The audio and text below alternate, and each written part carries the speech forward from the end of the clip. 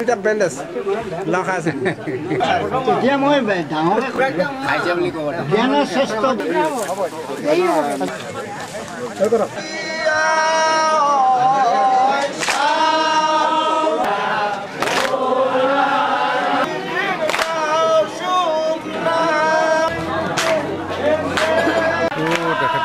এতিয়া আমাৰ প্ৰালন অনুষ্ঠান বুলি ক'লে জন্ম মৃত্যু এই দুইটা অনুষ্ঠানতে পতা হয়।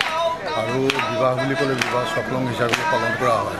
গতিকে প্ৰালন পন্থা বুলি ক'লে প্ৰালন ধৰ্মীয় পৰম্পৰা বুলি ক'লে জন্ম মৃত্যু বিবাহ আটাইকেইটা অনুষ্ঠানতে প্ৰালনেৰে সমাপন কৰা হয়।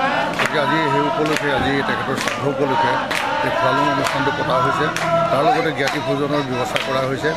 আৰু লগতে তেখেতৰ স্মৃতি চাৰণৰ কাৰণে এখন স্মৰণীয় প্ৰকাশ কৰা হৈছিলে। তেখেতে টাই ভাষা সংস্কৃতি কম দিনৰ ভিতৰতে সাহিত্য কৰি তেখেতে এগৰাকী মৌলম পণ্ডিত হিচাপে ইতিমধ্যে পৰিচিত হ'ল বা স্বীকৃতি পালে।